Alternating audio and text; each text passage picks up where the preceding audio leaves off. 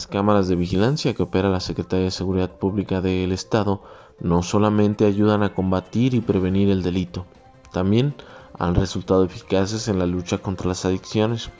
A través de esta red de videovigilancia se ha logrado ubicar a vendedores de droga y también a consumidores, como ocurrió recientemente en el municipio de Apachingán.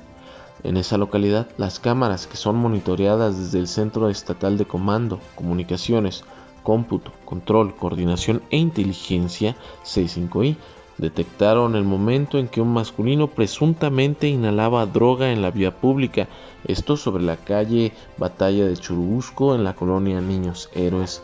Tras el análisis de las imágenes, se procedió a iniciar un operativo con personal de la Policía Michoacán y destacamentado en el municipio, lográndose confirmar el consumo y posesión del narcótico. La evidencia y el requerido, identificado como Pedro Alberto A de 33 años de edad, fueron puestos a disposición de las autoridades correspondientes para dar seguimiento al caso. Informó para Red 113 Javier Mogaña.